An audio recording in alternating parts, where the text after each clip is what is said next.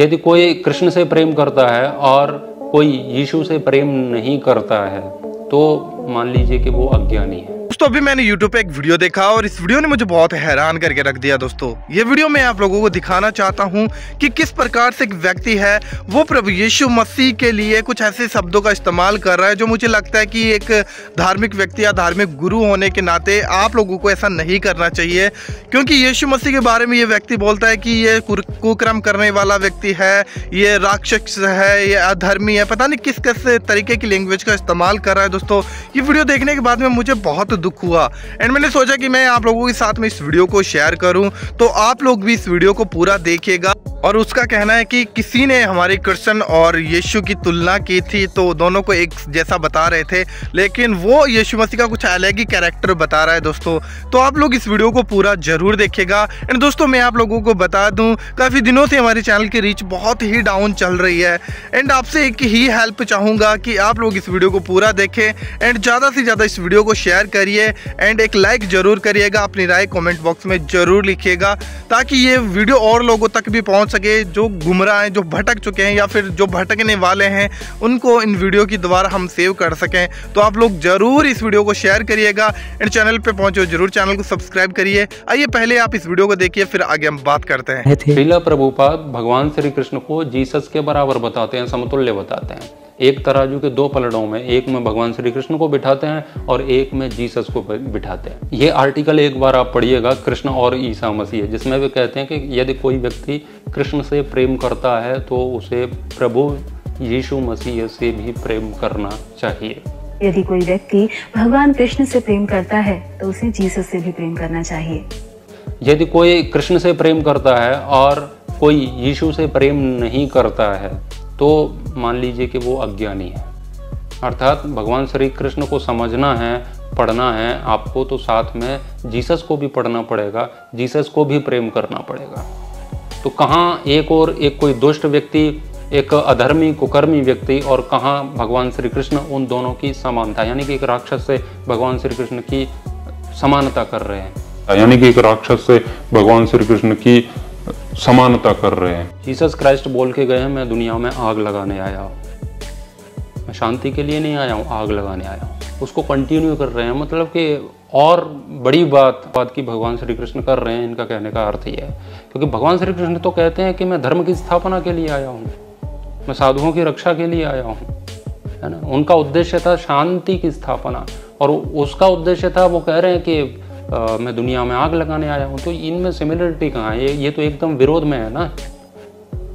तो फिर भी ये उनको, उनके साथ में खड़ा कर देते हैं। तो इनका कहने का अर्थ है कि बाइबल में जो अधर्म है, कुकर्म है, वही गीता में है। कहने का अर्थ यही तो है। तो दोस्तों, अभी आप लोगों ने ये वीडियो देखा। इस वीडियो में देखने के बाद में आप लोग समझ गए होंगे कि ये वो व्यक्ति है जो सिर्फ़ अपने आप में बुद्धिमान है, जिसे लगता है कि मेरे जैसा कोई बुद्धिमान इस संसार के अंदर है ही नहीं। देखिए, पहली बात तो मैं आप लोगों को बता देना चाहता हूँ, परमेश्वर का वचन जो खुद परमेश्वर ने बोला है, जो उसकी पवित्र आत्मा की अगुवाई में लिखा गया है, जो उस पवित्र आत्मा की सामर्थ्य से लिखा गया है, वो वचन समझने के लिए मनुष्य की बुद्धि बहुत थोड़ी है, उसे समझ में नहीं आएगा। लेकिन बाइबल हमें कहती है कि जब तक पवित्र आत्मा किसी में नहीं आता, वो जब तक नहीं समझाता, तब तक परमेश्वर के वचन को कोई नहीं समझ सकता। क्योंकि पवित्र आत्मा ही परमेश्वर का ज्ञान हमें देता है, परमेश्वर के रास्तों पर हमें ले चलता है। तो परमेश्वर का वचन समझने के लिए हम सबसे पहले हमें परमेश्वर की आत्मा से फुलफिल होना पड़ता है, हमें प्रभु यीशु मसीह के पीछे चलना पड़ता है, तब जाकर हम परमेश्वर का ज्ञान समझ सकते हैं, परमेश्वर का वचन क्या है। अभी आप लोगों ने इसमें देखा कि इस भाई ने एक वचन दिखाया उस वचन के आधार पर ये बता रहा है कि यीशु मसीह अगर खुदा था तो वो संसार में मेल, मिलाप कराने आता, लेकिन उसका तो काम ही अलग था। वो तो संसार में मेल मिलाप कराने नहीं आया है। लेकिन अगर बात करें हमारे कृष्ण की तो कृष्ण तो कह रहा है कि मैं धार्मिकता को स्थापित करने आया हूँ। अभी मैं आप लोगों को ये बता देना चाहता हूँ, आप लोगों ने कभी भी बाइबल में ये देखा होगा, प्रभु यीशु मसीह ने साढ़े तैतीस साल इस धरती पर बिताए थे। क्या आपने कभी देखा है कि यीशु मसीह किसी व्यक्ति का विरोध कर रहा है, या फिर किसी को भला बुरा बोल रहा है, या फिर यीशु मसीह किसी को गाली दे रहा है? परंतु यीशु मसीह ने तो हमें बाइबल में ये सिखाया है कि जो कोई तुम्हें गाली दे तुम उन्हें आशीष देना। जो कोई तुम्हें सताए तुम उन्हें आशीष देना। तुम्हारे शत्रुओं से तुम प्रेम करो अपने पड़ोसी से अपने अपने से भी बढ़कर प्रेम करो। तो प्रभु यीशु मसीह ने तो हमें ये शिक्षा दी है लेकिन आ, हमें इस वीडियो में कुछ अलग ही देखने को मिलता है दोस्तों। ये वो बात हो गई दोस्तों, जिसके पास बुद्धि है, वो अपने आप को बुद्धिमान समझता है, लेकिन जिसके पास स्वर्गीय ज्ञान है, वो अपने आप को बहुत ही नम्र व्यक्ति समझता है, क्योंकि ये ज्ञान परमेश्वर की ओर से मिलता है, और जब तक ये ज्ञान नहीं होता, तब तक कोई व्यक्ति परमेश्वर के वचन को नहीं समझ पाता। देखिए, जब हम बाइबल पढ़ते हैं तो बाइबल में हमें यीशु मसीह का करेक्टर देखने को मिलता है, यीशु मसीह का चरित्र देखने को मिलता है कि यीशु मसीह कैसे थे। पहली बात तो मैं आप लोगों को बता दूँ, जब यीशु मसीह संसार में आया तो संपूर्ण मनुष्य था और वो संपूर्ण खुदा भी था। खुदा कभी भी अपने लोगों को गलत राह नहीं दिखाएगा और ऐसा ही हमें देखने को मिलता है कि प्रभु यीशु मसीह ने कहा, जो कोई मेरे पीछे चलना चाहे, वो अपना क्रूस उठाए और अपने आप का इनकार करे। यीशु मसीह ने क्या कहा, मनुष्य के बेरी उसके घर के लोग ही होंगे।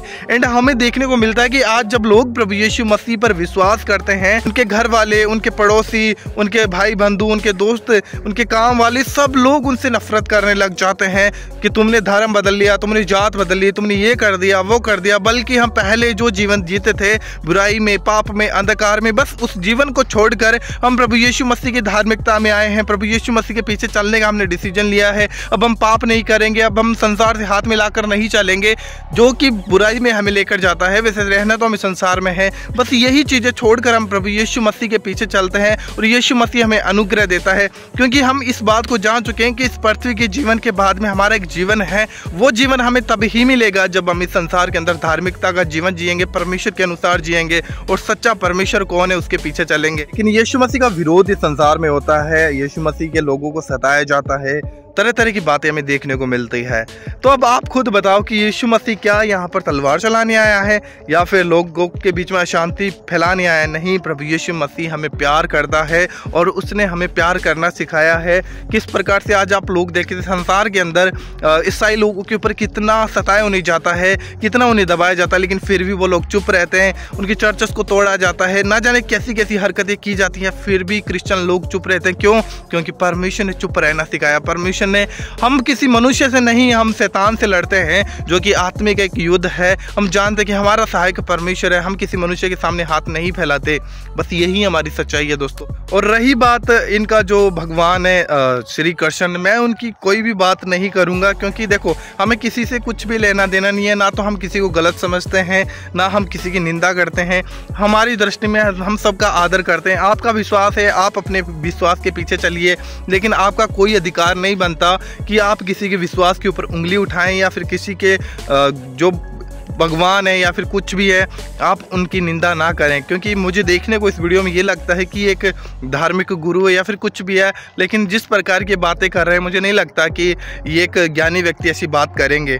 बाकी आपका इस वीडियो के विषय में क्या कहना है, आप हमें कमेंट बॉक्स में ज़रूर लिखेगा। एंड हमारे चैनल पे पहली बार पहुंचो दोस्तों, ज़रूर इस चैनल को सब्सक्राइब करिए। हम मिलते हैं किसी और वीडियो में।